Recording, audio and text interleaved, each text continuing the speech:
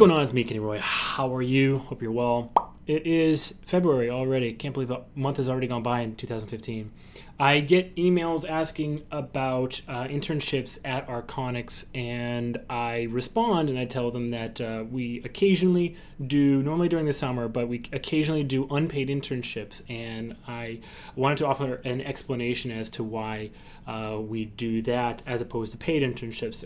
Typically, I get a response that uh, the uh, students aren't able to take an unpaid internship because they get uh, you know they, they have living expenses and they need to make money and et cetera et cetera et cetera. But i, I thought i would explain um, kind of uh, what the whole issue is at least in california but i, I, I think it applies everywhere else. Uh, the in terms of whether you should be looking for internships that are paid or unpaid or whatever there's obviously a lot of information out there as to whether these are actually career building or not. And the the fact is is that the most of the the, the reputable companies like the large companies dreamworks disney pixar blue sky those kinds of internship programs sometimes they call them apprenticeship programs whatever they are whether they're paid or unpaid, if it's at a very big reputable company, normally what they're doing is trying to actually talent search. They're trying to get the uh, best and brightest to come in, uh, show off what they can do, and you're not working on any production uh, materials. You're not actually working on shots, you're not working on shows or films. You're just uh, going through their, it's almost like a curriculum. Um, and so, sometimes they pay. Uh, a lot of them do pay at those larger reputable companies, but um, even at the sort of the s- semi-smaller reputable companies, uh, they might be paid or not. But here's here's where it gets a little bit interesting. If it's unpaid, then at least in California, there are a strict set of rules that they the company has to abide by. They have to be providing more value to you than they're getting out of you, and you cannot displace a normal worker, a, a normal salaried employee. You can't be doing the work that they would be doing. Okay, so that is the very strict rule that governs unpaid internships, at least in California. Why that is in place is obviously to make it so that they are responsible for actually providing a learning experience for you and giving you a lot of valuable tools and workflows and resources that you can uh, get a job with. And hopefully, maybe if you uh, really kick total butt at, at, at that company, you will be hired on after that at a competitive rate.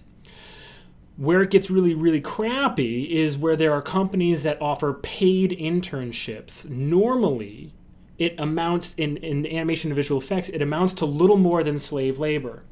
Because what they do is they say, like, okay, well, we can't have them work on the. I mean, we would have them work on the stuff if they were uh, unpaid if we could, but we can't just. I mean, we just don't want to spend a lot of money doing these menial tasks. Uh, uh, you, you, know, animation cleanup, um, those kinds of things, and so what they'll do is they'll say like okay well instead of paying somebody you know a competitive rate we'll just call this an internship pay them minimum wage and we'll get the work done and we'll make a ton of money you know on this on this uh, these menial tasks that uh, that we have to do here at, at the studio. And that's obviously wrong. That's that's no good.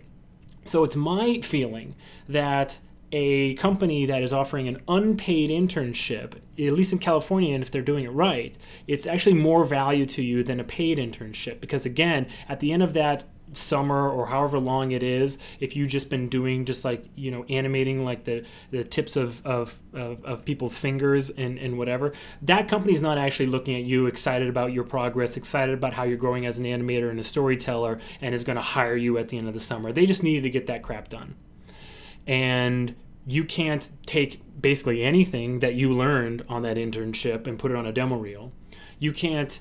Uh, you you probably won't be actually learning anything, and and uh, you know you won't be a better animator for it. So really, I actually think that if you're going to line up and you're going to judge like what what is the best value if you are out of school, it would actually be number one would be a um, unpaid internship at a reputable company that has a curriculum basically um, set up. Think about it like this. Think about it that you are lucky enough to get to continue your education for free because you're not working for them. You're not doing anything that they're making money on if, if they are reputable, okay? So it's not as if you're working for free. You're you're finishing your education, you're getting that production experience. Hopefully if it's a company that you want to work for, they would hire you at a competitive rate at the end of it. Um, but an unpaid internship because it has that those rules that govern what you're allowed to do and that they have to actually give you more value than they're getting out of you. Um, it is is much more career building. My career started with an unpaid internship, okay, and that was and that was huge for me. And uh, it basically, if I hadn't had that, it basically would have I completely different makeup of my career, for sure. So. Um, so yeah, so uh, th- next after that would be a um, would be a paid internship, but at like a major um, studio. So like DreamWorks, Pixar, Disney, whatever. Obviously, there it's talent searching again, but you're sure that they're paying you kind of almost because they just want to make sure that you can live, you know, live during the summer that you're you're you're, you're there.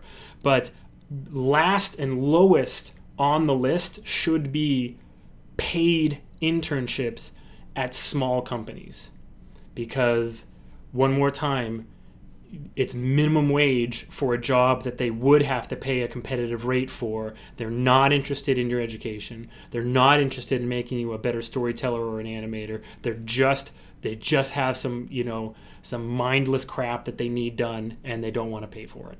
Okay, so uh, anyway, that's my uh, that's my opinion on it. And so if you're looking for uh, you're looking around and talking to companies and whatever, bear that in mind. And uh, my advice would be to ask a company that has an internship program what does it entail? They should be able to if they've run it for a while and they know what's you know what's a part of it they should be able to tell you exactly like what kind of stuff you're going to be doing. And if they just kind of say like oh well you'll come in and you know kind of see how things work and whatever you're it, basically you're not going to get much out of that. It, it, even at like a studio that you think a lot goes on and you can learn a lot from the process, you're probably going to be, you know, taking out the garbage and and and doing those kinds of things, not not really learning and growing and and whatever. So just be very careful, very very very careful when you're looking around uh, to get a little bit of a boost in your career, um, and and the word internship comes up. If it's paid I would be extremely worried. Okay? I would be extremely worried. So that's my advice. I hope you take that uh, uh, to heart. Uh, and I just want to say another thing. Uh, I, I, agree. Um, Stephen Silver is fantastic. That guy. I mean, he really looks out for students, and he's he's a huge advocate for for you know sticking up for yourself and getting paid for work.